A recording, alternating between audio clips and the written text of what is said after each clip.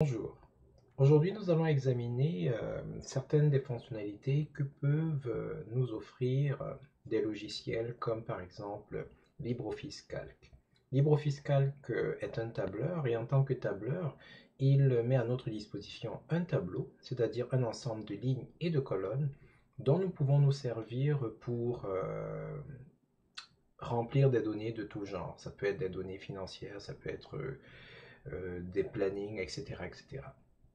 Mais cette structure euh, en forme de ligne et de colonne, ou alors cet ensemble de cellules, peut parfois être euh, utilisé à d'autres fins, notamment pour la création de grilles qui peuvent nous servir soit à dessiner, soit à créer des formulaires un peu plus compliqués. Notre but aujourd'hui, c'est donc de voir deux méthodes simples et rapides qui peuvent nous permettre d'y arriver facilement. Les opérations que nous allons effectuer euh, consistent à essayer de voir comment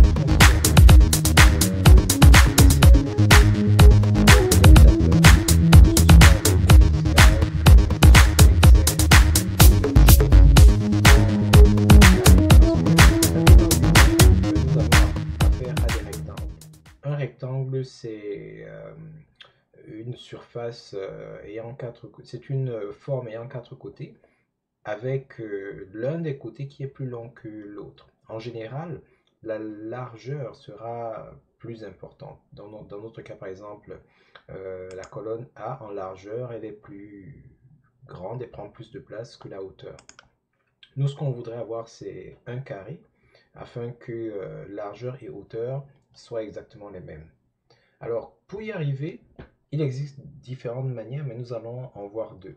Mais une chose à savoir, c'est que euh, dépendamment de la police de caractère que vous utilisez ici, ainsi que de la taille des caractères, euh, cette taille-là pourrait varier. Donc si par exemple je sélectionne tout et que je mets par exemple euh, comme taille de toutes les cellules 20, vous avez constaté que la hauteur a augmenté ici. A l'inverse, si je sélectionne tout et que je diminue ici à peut-être 5, la hauteur va diminuer. Et cet effet est également pareil si jamais vous veniez à changer euh, la police de caractère. Donc cela peut jouer. C'est la raison pour laquelle euh, il peut être un peu délicat d'utiliser le clic droit sur la colonne ou sur la ligne, puis largeur de colonne ou encore euh, clic droit sur la ligne, et puis hauteur de ligne. Parce que les valeurs qui sont là ne sont pas toujours les mêmes. Quand je dis ne sont pas les mêmes, c'est-à-dire que l'échelle euh, n'est pas toujours exactement euh, la même. Euh, ça dépend des logiciels que vous utilisez. Dans par exemple LibreOffice, les valeurs sont données, ça dépend de comment c'est configuré, mais en général c'est donné en centimètres. Donc là, ce sont des valeurs réelles. Donc ça fait que si par exemple en hauteur ici je mets 1 cm, et que ici en largeur de colonne, je mets également 1 cm. Comme ce sont les valeurs réelles, nous aurons à peu près un rectangle. Mais dans d'autres logiciels, la valeur que vous mettez pour la hauteur et celle que vous mettez pour la largeur ont des coefficients un peu différents, ce qui fait que c'est pas pareil. Donc nous, ce que nous allons faire, c'est transformer toute la grille grâce euh, à des méthodes assez simples. Alors la première méthode, c'est la méthode à tâtons, c'est-à-dire vous y allez euh, avec euh, le visuel, vous essayez de voir et de juger. Comme on veut agir sur toutes les cellules, euh, aussi bien sur celles que nous voyons, par exemple là nous voyons de A à Y, mais bien entendu les tableurs vont beaucoup plus loin. même chose pour les lignes. On va sélectionner ici l'intersection. Et lorsque l'intersection est sélectionnée, cette intersection qui est dans le coin euh, supérieur gauche, ce qui se passe, c'est que toutes les lignes et toutes les colonnes, que ce soit celles que vous voyez et celles que vous ne voyez pas, sont également sélectionnées. Et les actions que vous allez mener ici, dans la zone des colonnes ou dans la zone des lignes, auront des répercussions sur l'ensemble des cellules sélectionnées. Ça fait donc que si j'augmente ici par exemple la ligne à 1 cm, toutes les lignes vont être montées à 1 cm. Et si ici je réduis par exemple la largeur à 1 cm également, elles vont toutes être euh, réduites à 1 cm. Donc, Euh, LibreOffice est assez euh, intéressant dans ce sens parce que pendant que vous êtes en train d'ajuster, vous pouvez avoir la valeur qui apparaît à l'écran. Et en plus, ce sont les valeurs réelles, les valeurs absolues qu'ils utilisent, c'est-à-dire dans mon cas, les centimètres. Donc là, ça nous donne une grille. Alors, je ne sais pas si vous voyez, mais ce n'est Bon, quand on zoome, c'est plus rectangulaire quand même. Plus, ça se rapproche plus du carré, mais j'ai toujours l'impression que c'est un peu rectangulaire. Donc, ça, c'est la première méthode. Deuxième méthode, on va revenir à la normale. Deuxième méthode, euh, cela consiste à insérer une forme.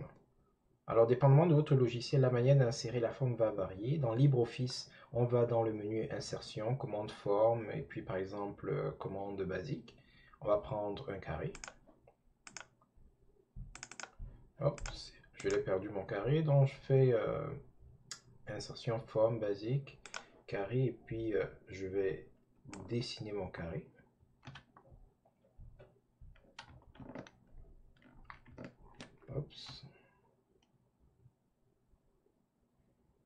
Alors là, l'enjeu, c'est de dessiner euh, votre forme avec les dimensions que vous souhaitez. Si par exemple, vous souhaiteriez avoir une grille qui a la dimension de ce carré, bon, ben, vous faites un carré à cette taille. Si vous souhaiteriez que votre grille soit plus grande, par exemple comme ceci, vous allez dessiner un rectangle. Bref, vous dessinez votre carré en lui donnant la dimension que vous voulez que votre grille ait.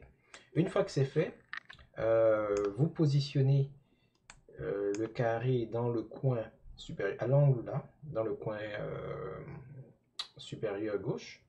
Et là, vous faites la manipulation que nous avons vue en introduction, c'est-à-dire vous sélectionnez l'ensemble de toutes les cellules. Et puis là maintenant, vous essayez de positionner la première colonne, la colonne A, pour qu'elle s'aligne sur un des côtés euh, de la zone témoin, parce que le rectangle que vous avez pris, c'est un peu comme le témoin. Et vous faites pareil avec la première ligne. Bon, ici, je peux m'aider. Là, c'est 8,60 8,71. Euh, et ici, ça devrait être 8,71 aussi.